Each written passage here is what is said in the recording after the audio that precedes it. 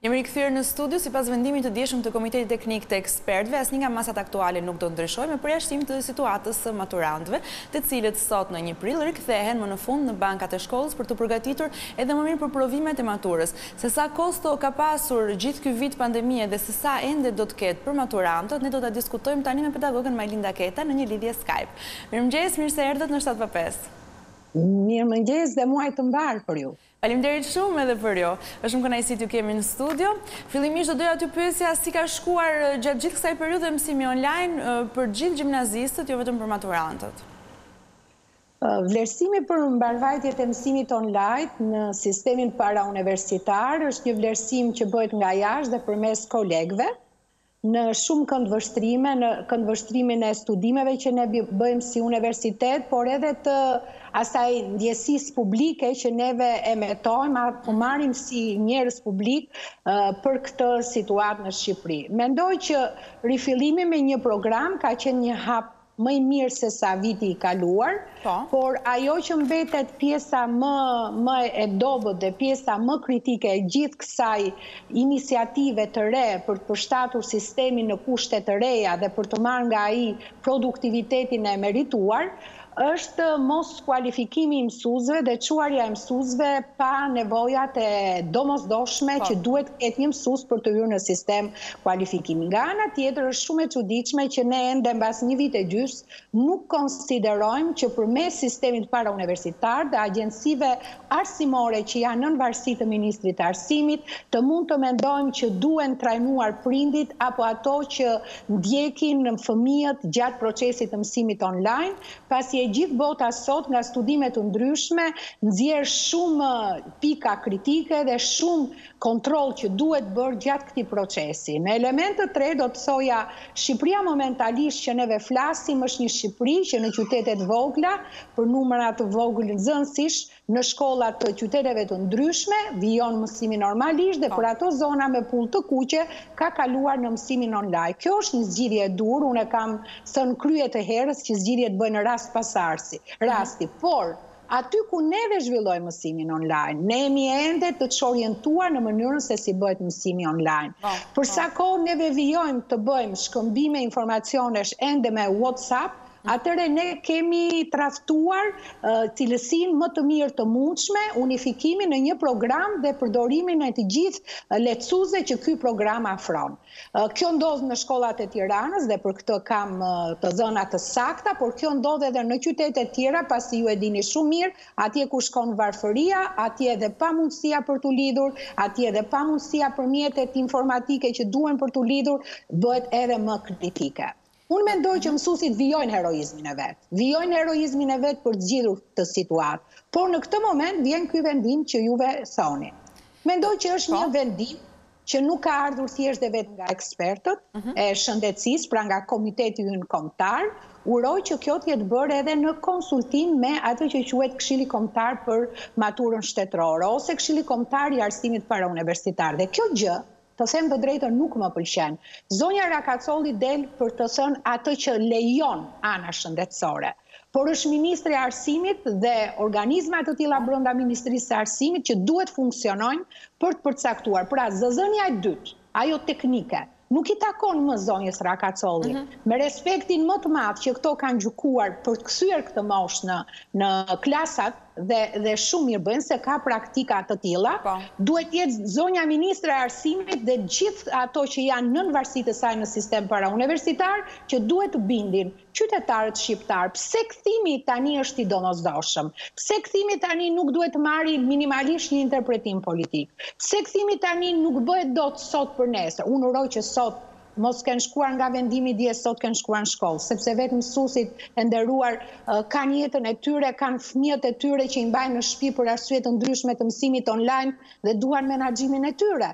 Por ajo që vërehet ende dhe mbas një vit e gjysmë është që Ministria e Arsimit ka jo vetëm një rol pasiv, Po kjo është një rol denigrues për motivimin e të gjitha atyre fëmijëve që duhen siguruar pse duhen shkuar edhe një herë në shkollë dhe çfarë shkolla ka siguruar për shëndetin e tyre dhe nga ana tjetër mbi të gjitha për mësuesit të cilët janë në një dilemë të situatave dhe që këto dilema zgjidhen me element teknik brenda Ministrisë së Arsimit. A mendoni që duhet të ishin kthyer më parë maturantët në bankat e shkollës dhe në këtë moment mund të interpretohet si një vendim politik? Unë kam bindjen që mund të kishin bërë dhe ca zgjidhje të ndryshme edhe në kushtet e Tiranës. Ka disiplina e nderuar që mund të bëhen në klasë dhe ka disiplina që online i mban. Ashtu si shumë edhe universitete private për shembull kanë përvoja leksionet i mbajnë online dhe seminaret i çojnë në auditore për numrin e vogël studentëve. Në rastet e maturantëve, kur ne ia vëmë tërë ndërtesën shkollore në funksion të maturantëve, unë kam menduar se duhet të ishim më parë në lëndët matematikë, fizikë, kimi, për të cilat janë lëndë bazë dhe për të cilat tabela apo lehtësues të tjerë të orës së mësimit janë të domosdoshëm, që mund të ishin menduar me grafik. Për arsye se Ne dhe do të ishim në normalitet, do të ishim edhe si shkollat e Amerikës apo si shkollat tjera të botës kur mësuesit tanë të ishin trajnuar për ato programet më të mira, të cilat duhet të ishin zgjedhur për parauniversitarin dhe nuk është më i miri. Universiteti ka zgjedh programin më të mirë, duhet të ishin trajnuar se si bëhet matematikë e suksesshme.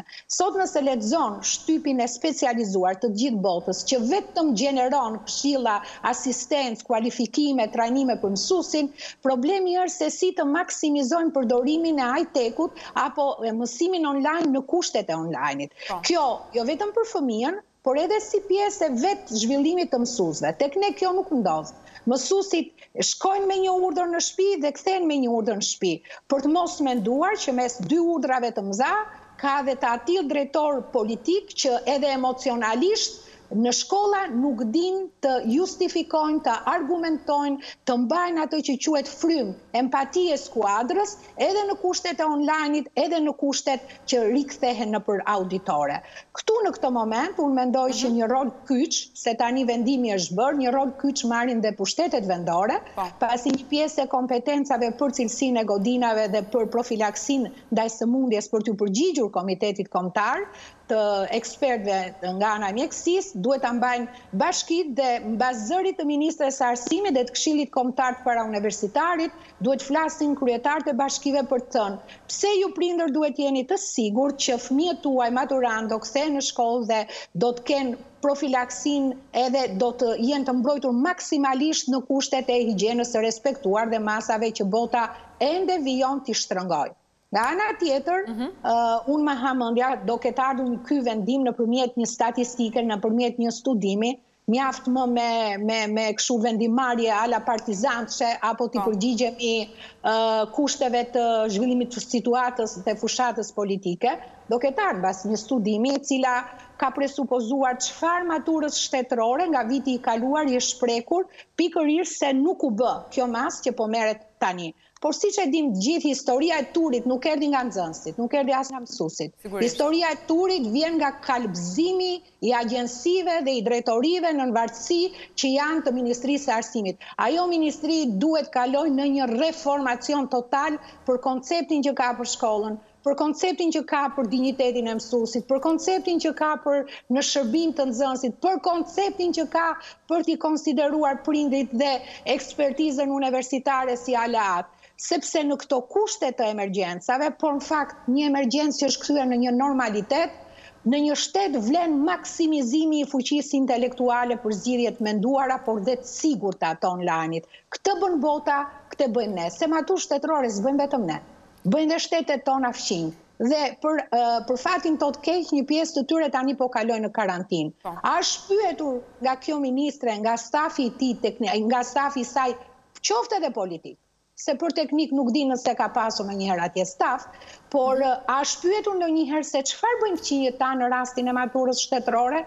Këto janë gjëra që duhet t'ia kishim vënë në tavolinë të gjithë aktorëve dhe autorëve që realizojnë këtë maturë shtetërore, që minimalisht mos na ndodhi më turp, po më duket se ajo që e solli turpin është përsëri në krye të maturës shtetërore dhe është një rrezik tjetër që kanos sistemin, por mbi të gjitha ne duhet të shkojmë me një lloj fryme që po shkojmë drejt një finalizimi që na duhet ta bëjmë këtë masë. E na duhet ta bëjmë këtë masë, nuk duhet as politizimi, As drejtori politik i shkollës që ende kooperon duke çuar letra, plotësoni dhjetë emra se duhet votoni Partinë Socialiste, po nuk na duhen as ato teknicienë që sot heshtin dhe quhen ekspertë Ministrie të Arsimit dhe nuk flasin me zë. Zonja ministre e Shëndetësisë dhe qeveria në një farë mase e dha verdiktin e vet. Ktheuni. Mbas kësaj duhet fliste ministrja e arsimit, nuk mbushet me një me një frazë sepse duhet motivosh ca njerëz që ende janë të pasigurtë për jetët e tyre që të kthehen. Janë vetëm me një një bërjen e një faze të vaksinës. Por mos të harrojmë që me mësuesit nuk nuk ndodh, ne nuk marrim dot mësues nga Bangladeshi, nga India dhe nga Kina, nuk kemi ku i gjejmë se janë të gjuhës shqipe. Ndaj Duhet të riparë mënyra me të cilën komunikohet në këto kushte. Suksesi është tek komunikimi. Suksesi është tek ekspertët. Suksesi vjen nga analiza precize ku ti pranon ku je i dobët dhe ku ti e di që e ke epërsinë tënde. Sigurisht epërsitë janë mirë të thuhen publikisht dhe kemi nevojë të gjithë t'i themi publikisht, sepse këto maturantë shkojnë për sfidën më të madhe të jetës së tyre. Duhet të shkojnë me një makth të jashtëzakonshëm nga nga ajo që është krijuar nga kjo amulli dhe po. anarshi e zgjedhjes së programeve apo Zoom, WhatsApp apo si e kanë zgjedhur mësuesit mhm. heronj për ta bërë deri tani dhe janë dy vite. Në tre vite gjimnaz po. dy i kanë të humbura. Pra, neve duhet të shkojmë me një maksimizim të përgjegjshmërisë për të marrë gjithë secili atë që i takon ta marrë. Ministria e Arsimit s'duhet të heshtë. Ministria e Arsimit duhet të marrë përgjegjësitë për të thënë si do të jetë e sigurt në bashkëpunim me pushtetin vendor dhe si këto mësues do të jenë të sigurt, pasi dhe rëndesat e mësuesve në jetët e tyre personale, por dhe profesionale do të ndryshojnë komplet skemën me cilën përdoren. Zonja Keta gjithashtu do doja t'ju pyesja për brezin e parë të studentëve, të cilët zhvilluan vitin e kaluar tremujorin e fundit të maturës online dhe më pas në tetor filluan universitetin përsëri online. Si ka qenë situata e tyre, kanë pasur shumë mangësi, a ndiheshin të pasigurt? Të them të drejtën, ndjehet, ndjehet dobësia që vjen. Ndjehet dobësia që vjen edhe për faktin që në universitet, ju e dini se keni kaluar vetë këtë fazë, ti ekspozohesh në fuqinë tënde personale. Dhe tek fuqia jote personale nuk je më në një klasë kolektive, pasi detyrat janë të shumta në kushtet e universitetit. Di që jemi më mirë se sa vjet në përshtatjen me programet online, mhm. di që ka një, le të themi, një përshtatje më familjare të studentit dhe më i besueshëm për të dalë edhe me figurë, se hera herës preferojnë të mos dalin as në kamera po, dhe kanë qenë vetëm provimet që kanë dalë në kamera, mhm. Por duhet të dimë një gjë, ajo që krijohet gropë në sistemin parauniversitar nuk ka shans që të mbushet në sistemin universitar. Sepse profilizimi që ato zgjedhin për të bërë degët e tyre nuk rimbush ato që kanë mangësira. Prandaj kjo maturë duhet të ishte menduar jo këtë muaj elektoral për t'u kthyer në shkollë. Duhet të ishte menduar mbase edhe në mars dhe mund të bëhej në lëndët bazike ku ato kanë interesat e veta për të pasur më sukses dhe mund të bëhej pikërisht me atë konceptin që ka vetë gjimnazi. Në vitin e tretë ato zhvillojnë lëndë të profilizuara simbas aplikimeve që do të bëjnë. Për lëndët parësore që kanë qenë në prioritet të tyre mund të kishim shkuar nëpër klasa më përpara duke mbartur pjesën tjetër të alternuar. Megjithatë, thashë dhe një herë, Përpara një komiteti ekspertësh kombëtarë që na na na njeh me situatën e Covidit, ne jemi të gjithë njerëz që duhet të respektojnë. Por ajo që duhet bërë në rastin e shkollave është që Ministria e Arsimit duhet të jetë dinjitoze për të bindur apo mos bindur, për të pranuar apo mos pranuar, për të maksimizuar atë kur pranohet që do kthehemi në klasë në më të mirën e mundshme. pasi kemi ende një sistem arsimor të çatrafilluar nga të gjitha anët, nga të gjitha anët, prandaj nuk është viktima fëmija. Nëse neve i kemi gabimet tona, se kemi tridhjetë vjet që bëjmë gjëmat më të mëdhaja vit pas viti me arsimin, nuk është fëmija që duhet humbit. Nuk mund të jenë ato që vijnë në universitete ato që do të mbartin gropa që mbase nuk do t'i rimbursojnë më. Duhet të jemi ne të marrim përgjegjësi të shtuara sepse tashmë ky realitet nuk mund të thuhet më që është i ri është realitet dhe me sa shoh nga gjithë prognozat që po bëjnë universitetet më në zë të botës, ky është realitet që është programuar për ta për dy mijë e njëzet e treshin, dy mijë e njëzet e katrin, se askush nuk po na ruan nga shtampa të reja të virusit, nga situata të tjera pandemike të cilat kërcënojnë përsëri njerëzimin mes tyre edhe Shqipërisë. Duhet menduar realisht ashtu si arsimi meriton. me dinjitetin për mësuesin, me investimet për kualifikimet e mësuesve, me programe të sigurta të zgjedhura. Po. Unë nuk kuptoj se pse nuk zgjodhën Teams-in si ne. Brenda një shteti që një milion e gjysmë banorë kemi mbetur, lëre sa dalim nëpër lista. Listat mbajnë ato që janë jashtë Shqipërie. Ne dhe në rekordet e fundit studimit të Vjenës dalim në në shifra katastrofale të emigracionit dhe të ikjes së trurit. Atëherë për kaq pak sa jemi. Duhet ministria të bëjë dy zgjidhje, një për parauniversitarë, një për universitarë. Nëse është më i mirë Teams-i dhe këtë e kanë provuar, e kanë aprovuar dhe të tjerë jashtë nesh, pse nuk u kalua edhe në parauniversitarë? Përse asnjëherë Ministria e Arsimit nuk asistoi nga universitetet tipej ekspertizë për sigurimin e këtyre elementëve të kualifikimit? Nuk e di pse neve vuajmë për të vetë shfrytëzuar veten në maksimat e secilit që kemi përgjegjësi ndaj këtij shteti. Me sa duket paaftësia për drejtuar i mund të gjitha elementet edhe idealizmin, edhe heroizmin e mësuesve, edhe gatishmërinë e prindërve për të bërë të pamundurën, vetëm mos harrojmë, në një shpi nuk është një fëmijë. Sigurisht. Akoma Shqipëria në ato vite që neve kemi tani ka dhe dy dhe tre fëmijë. Pak më vonë do do do diskutojmë nëse do kemi një fëmijë. Por tani për tani kemi 2 dhe 3 dhe në një familje, qoftë për 3 fëmijë, edhe dy prindër kanë celular. I treti del offside, ëh, del jashtë. Pra ky shtet mbas një vit e gjysme duhet i kishte zgjidh ca gjëra shumë më tepër dhe fuqitë janë, sepse jemi shumë pak dhe meqë jemi shumë pak mund të bëjmë zgjidhje të mëdhaja. Le t'i lejmë performancat, le të lejmë ato shkollat 3D e programet 3D, Jeta është një dë. Unë përpara mësimit, unë përpara studentit, unë përpara asaj që duhet bëj në përgjegjësinë time. Këtu nuk kalojmë tre dë. Këtu jemi në një dimension, dimensionin e përgjegjshmërisë. Këtë Ministria e Arsimit ende nuk e ka marrë. Këtë Ministria e Arsimit për parauniversitarin e ka tradhtuar për fëmijët Edhe për mësuesin. Ne shkojmë falë idealizmit dhe vullnetit të mirë të mësuesve dhe të disa drejtorëve në shkolla që nuk mendojnë se arsimi është politikë. Për ato që kanë politikë, tani që neve flasin, në rrezik janë duke kërkuar lista për të mbushur dhe kjo është dëmi më i madh që i bëjmë edhe maturantit që do e kthejmë, Edhe pjesës së tjetër që do ta vazhdojmë online. Të heqi dorë politika nga arsimi, se arsimi ka njerëz me ideal që e mbajnë veten, por le t'i lënë të flasin lirshëm, le t'i dëgjojnë më shumë, le t'i maksimizojnë të gjitha këshillat që vijnë nga një cep tek cepi tjetër i Shqipërisë, se mësim bëhet kudo. Patjetër. Do doja t'ju bëja edhe një pyetje të fundit duke rikthyer vëmendjen tek brezi i këtij viti i maturantëve, të cilët sot do të rikthehen në bankat e shkollës. A do të jetë e vështirë për ta? Do të mjaftojnë këto tre muaj për të përgatitur provimet e maturës, duke pasur parasysh që dhe provimet semestrale janë anulluar?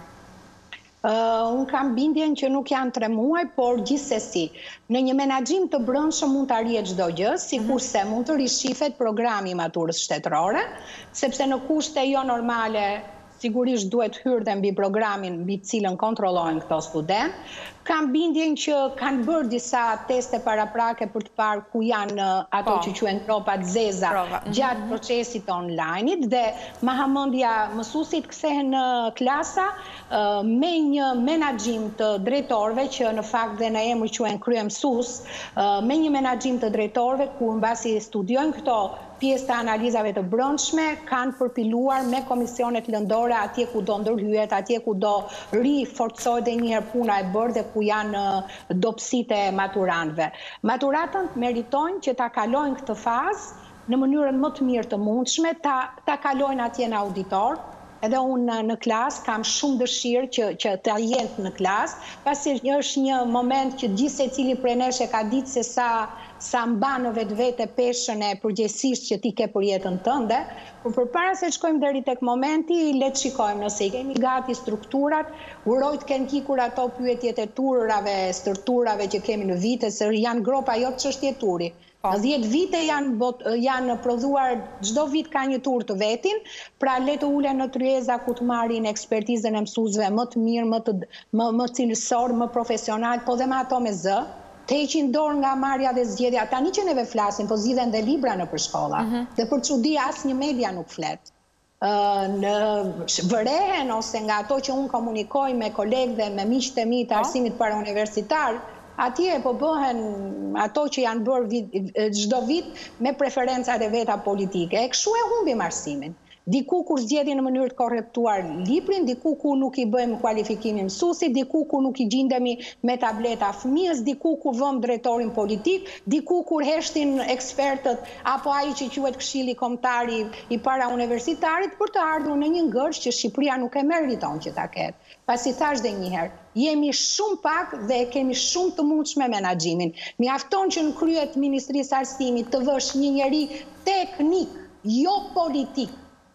Uroj që njëzet e pesë prilli të sjelli jo më një ministër politik, një ministër që e njeh arsimit nga majat e flokëve, ta njofi nga rrënjët dhe ai njeriu teknik që duhet vihet në, nuk do të lejojë kurrë që të korruptojë politikisht Këshillin Kombëtar të Arsimit, nuk do të lejojë kurrë që edhe nën projektet e AADF-së të prodhohen dhe të vijnë të trajnohen vetëm drejtora politikë, nuk do të lejojë kurrë që një drejtor shkolle të shkojë të mbushi lista, të sillë dhjetë anëtarë të familjes që të votojnë për PS, nuk do të lejojë kurrë që dikush të vendosi për arsimin pa marrë analizat konkrete se ku është situata për të pranuar dobësitë dhe për të marrë epërsitë që kanë për t'i përdorur për të mbushur këto dobësitë. Neve jemi mbrapsh prej vitesh.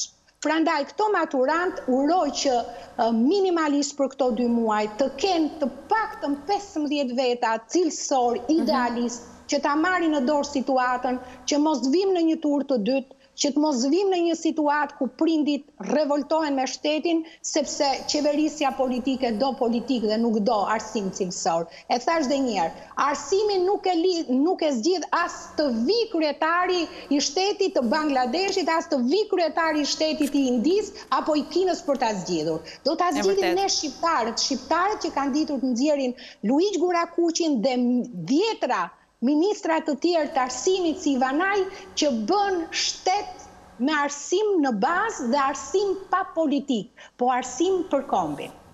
Ju falenderoj shumë që ishit me ne këtë mëngjes dhe ju uroj punë të mbarë.